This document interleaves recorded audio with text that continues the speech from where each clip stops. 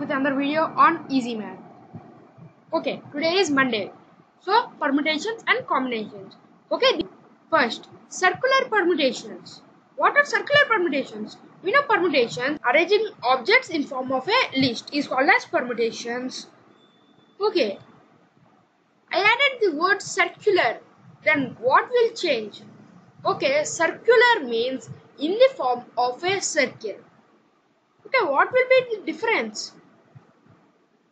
Okay, if we see this example, here we should arrange 1, 2, 3, 4 and 5 as a circle. Now, if we take the same order is arranged, then it can be arranged in 5 ways.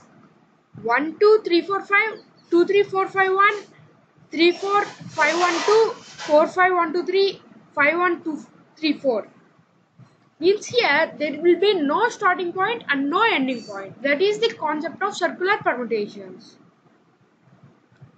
Here objects can be arranged in a circular way. Okay, how many ways are there to arrange? Total ways to arrange if there are n boxes and n possibilities is n minus 1 factorial. Why n minus 1 factorial? Because there will be n possibilities if there is no starting point and ending point. For each case, it will be n possibilities. So we should divide by n, it becomes n minus 1 factorial. What if we should arrange n possibilities in R boxes?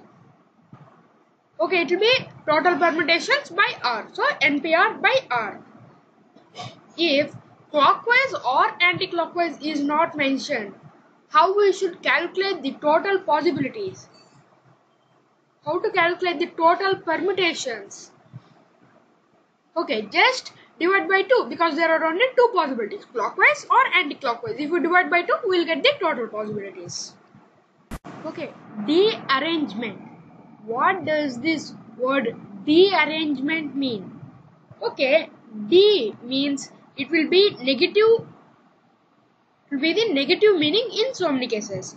So here also the same. Dearrangement means arranging all boxes with wrong elements. Means arranging wrong elements in that place. Okay, there is a formula to find the total dearrangements. It is total dearrangements is equal to n factorial into 1 minus 1 by 1 factorial plus 1 by 2 factorial minus 1 by 3 factorial and so on until minus 1 power n into 1 by n factorial. Okay. Okay guys. This is for today's video. If you like the video hit that like button smash the subscribe button ring that bell icon it notifies you when i release a new video.